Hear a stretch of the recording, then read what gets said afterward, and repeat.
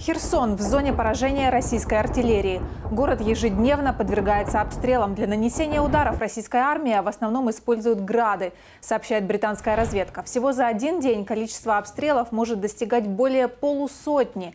И только за одну неделю, с 20 по 27 ноября, из-за огня со стороны российских войск в Херсоне погибло 16 человек. 35 пострадали, в том числе один ребенок. Об этом говорится в сообщении Херсонского горсовета. Город уязвим, поскольку российская артиллерия базируется на правом берегу Днепра и ведет оттуда огонь. Там россияне укрепили оборонные линии, говорится в сообщении британской разведки.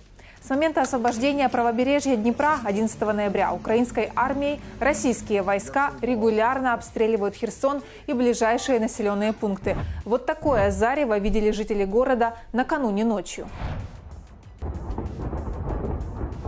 Войска РФ снова обстреляли жилые кварталы Херсона. Снаряды попали в частные и многоквартирные дома. Били также по Белозерке, Приозерному, Камышанах, Степановке, Никольскому, Чернобаевке, Токаревке, Зеленовке, Приднепровскому и Станиславу. Эти населенные пункты расположены на берегу Днепра недалеко от Херсона. А на днях в соцсетях распространили информацию о том, что областной центр обстреляли якобы фосфором. Официального подтверждения этой информации нет. Однако в комментариях люди предполагают, что именно так выглядит фосфорный снаряд. По сообщениям от местных жителей, после обстрела над Херсоном виднелась задымленность. Свидетели говорят, в воздухе взрывались небольшие облака ярких вспышек и летели вниз. В городе постепенно восстанавливают электричество и водоснабжение. Уходя, российские военные уничтожили критическую инфраструктуру, взорвали котельные и объект облэнерго. Взрывая объекты гражданской инфраструктуры, россияне целенаправленно хотели устроить в городе гуманитарную катастрофу. Херсон остался без электричества, без связи и воды.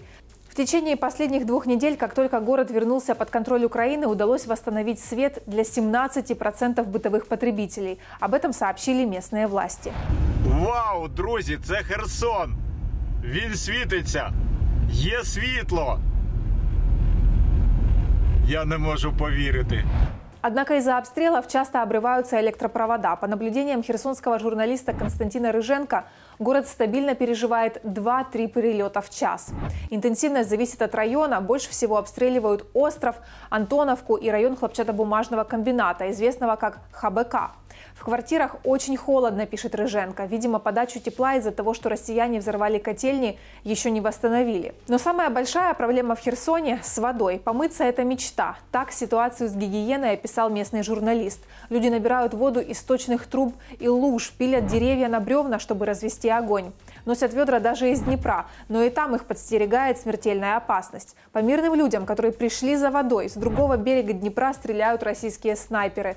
Об этом на своей странице в соцсети рассказала глава Херсонской благотворительной организации «Защита» Лариса Подольская. Чтобы как-то помочь людям выжить, в Херсон привозят гуманитарную помощь. Помогают как другие регионы Украины, так и международные организации. Доставляют еду, стройматериалы, генераторы. Из города можно выехать на эвакуационном поезде. Пациентов больниц уже централизованно вывозят в другие украинские города. А что вы думаете об этом? Пишите в комментариях и подписывайтесь на наш YouTube и Telegram каналы, чтобы первыми узнавать правду.